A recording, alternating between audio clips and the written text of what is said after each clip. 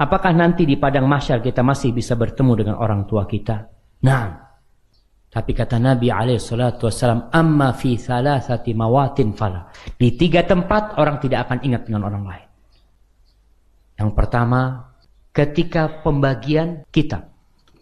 Ketika rapot dibagikan, itu orang hanya memikirkan dengan tangan apa aku memegang rapotku.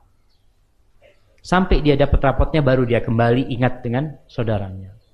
Kemudian yang kedua ketika di timbangan. Yang ketiga ketika di sirat.